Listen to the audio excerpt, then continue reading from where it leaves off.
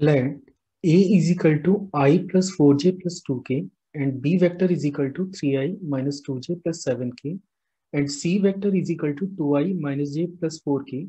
Find a vector D which is perpendicular to both A vector and B vector and the condition is C dot D is equal to 15. So let's see how we will solve this problem. तो देखिए सबसे पहले तो हमें यहाँ पे देखना होगा कि हमें दो वेक्टर गिवन है पहला वेक्टर ए है मैं इसको नोट कर लेता हूँ let a vector is equal to i plus four j plus two times of k k ये ए वेक्टर आपको गिवन है।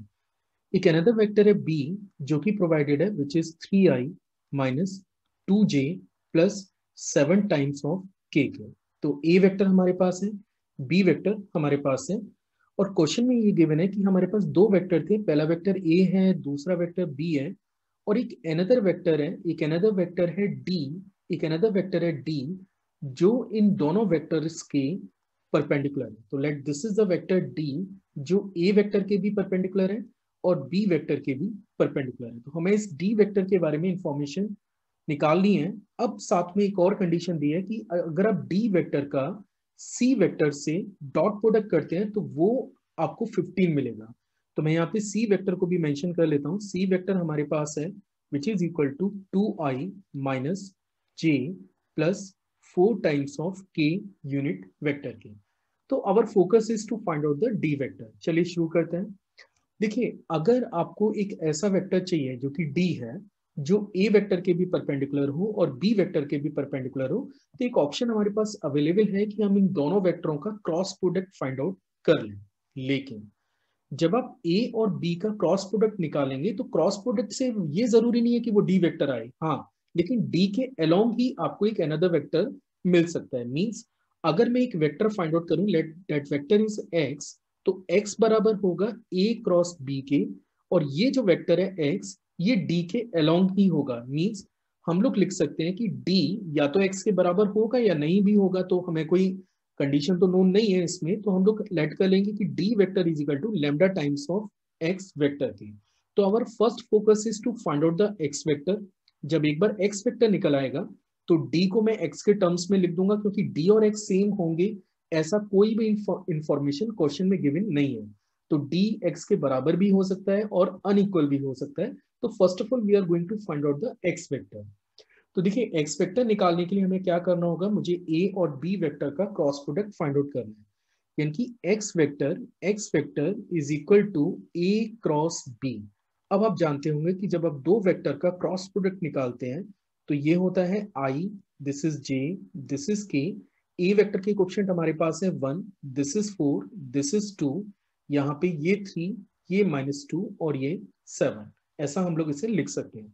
और जब आप इसे फर्दर सिंप्लीफाई करेंगे, जब आप इसे फर्दर सिंप्लीफाई करेंगे तो you will get 32 i you will get 32 i minus j minus j minus fourteen of k unit vector के तो हमने ए क्रॉस बी निकाल लिया। लेकिन जैसे मैंने आपसे कहा था कि डी और एक्स सेम होंगे, ऐसा कोई इंफॉर्मेशन गिवन नहीं है। हाँ लेकिन डी और एक्स की डायरेक्शन सेम है, क्योंकि एक्स ए और बी के परपेंडिकुलर है और डी बी ए और बी के परपेंडिकुलर है।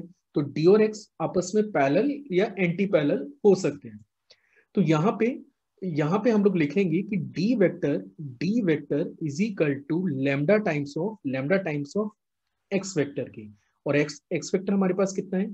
Thirty two i minus j minus fourteen times of k vector की।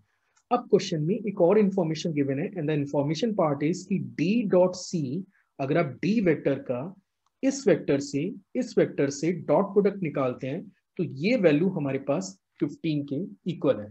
तो चलिए आगे बात करते हैं। देखिए अगर मैं d dot c find out करूँ तो डी हमारे पास है lambda into thirty two i thirty two i minus j minus fourteen k k. तो ये हमारे पास आ, ये हमारे पास डी वेक्टर हो गया।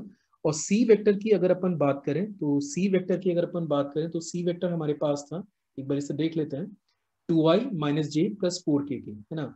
So this is two i plus four k k this is two i minus j plus four k unit vector and this information is provided कि इन दोनों का जो डॉट प्रोडक्ट है, वो 15 के इक्वल है।